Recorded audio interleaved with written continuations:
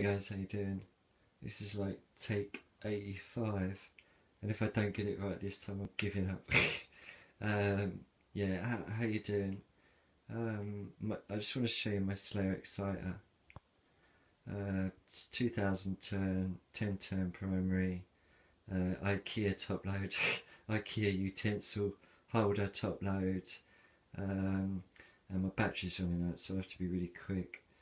But yeah, so I'll run it on a 20 volts DC straight in. Um, it's running 10k, uh, 2N6547 transistor.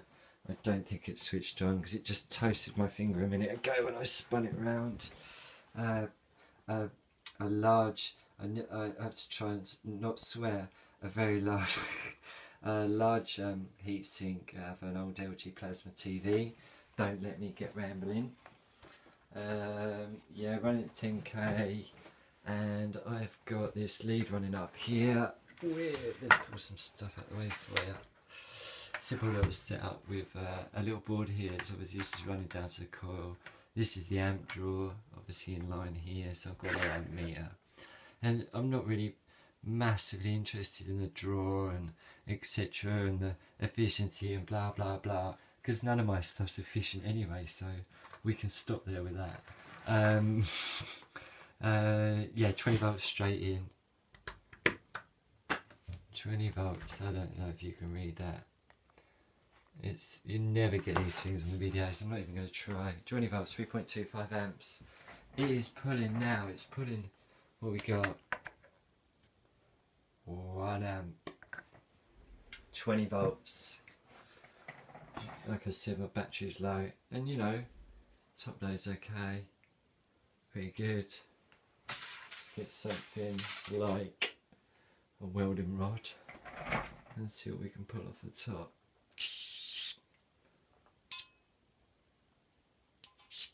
Something there. Not huge, but let's drop some lights. So I'm supposed to be being quick, I know. Let's quickly kill some lights. This really is to go in a sec. Okay. Let's do this side. So we have a little bit of a top load. I think I proved the point on that. You'll see why I've said that in a second. Um, right, let's switch this over to the Bedini. So, out of here, I'm going to take the output at the Bedini and chuck it in the back of the coil. And then with this and stick it in the back same little sort of board. Instead I've got just a hard link across on there. So I'm messing around. Okay and then you know a little tiny right a little oh these are really easy to make uh, MDF donut and I drill some holes in the end stick it on an old hard drive. Stick it I literally that's, that's that's glue gunnery that is. Uh, stuck on there. 20 volts spin her up and then see the difference and the audible difference uh, I think is a massive thing it surprised me considerably.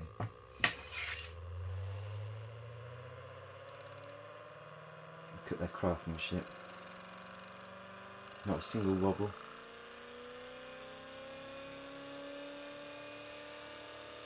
I reckon that's about 200 milliamps low. Let's not get into it. Okay. So, what are we pulling now? I'm pulling up, pushing. 400 milliamps. That's really hard for you to see. So I can't even get a focus on it. Uh, that's two at the top, so 400. Uh, that's uh, uh, 500 there. 500 milliamps. And now, check this. This is way different. Yeah, let's put the uh, Wi-Fi. Can you hear? It's actually arcing through the bottom of the uh, so you can hear the top loaders already. It's just, you know, it's it's arcing a, a greater distance. And let's take those off. Try not to smash them And here we go, and I'll switch it off and see we'll have a quick look. Check.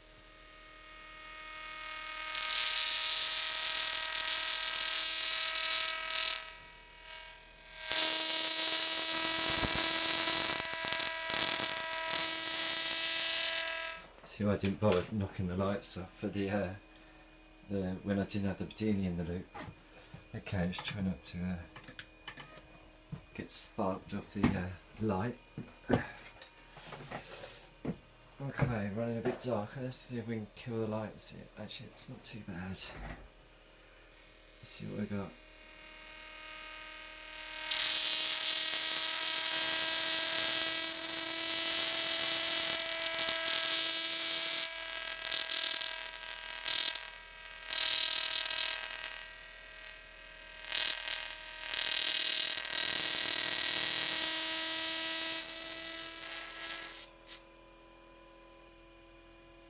Wheel accelerate.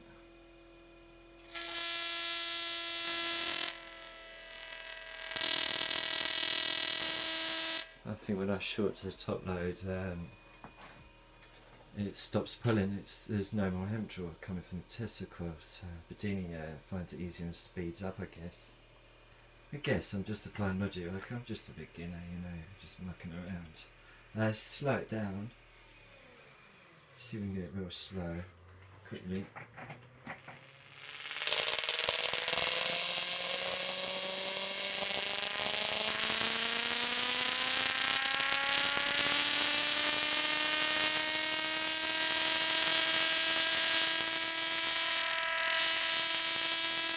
The, the arcing is much more reminiscent of um, the spark gap setup.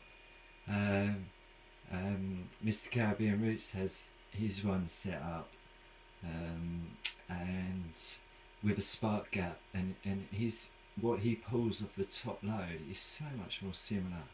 Uh, way different to like uh, just running straight off the DC although there's no difference do you know what I mean? Uh, you can tell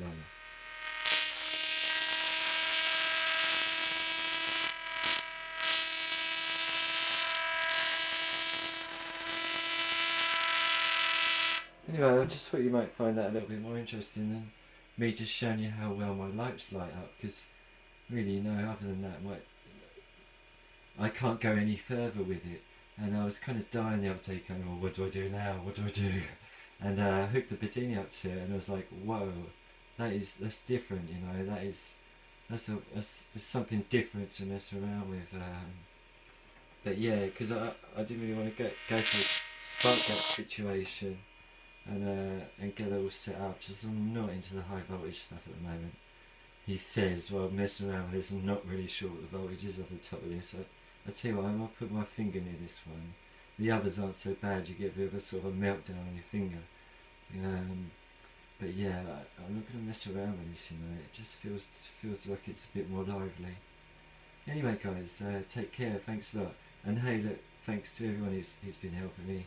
Jeremy, um, Jeremy Gwilt, Mr. Caribbean Roots, uh, Bedini's, Crikeys, um, uh, God name dropping. Who do I watch for Bedini's? Um, oh God, Mr. Angus Wangus, uh, who's who's who's waiting to show us his big one. Um, yeah, uh, uh, and so many others. Oh, oh, uh, Panasonic microwaves. Uh, someone will know what I'm talking about. God, if you can see it. Yeah, it's a guy that I was talking to. He'll know about that. Uh, take care, guys. Thanks a lot.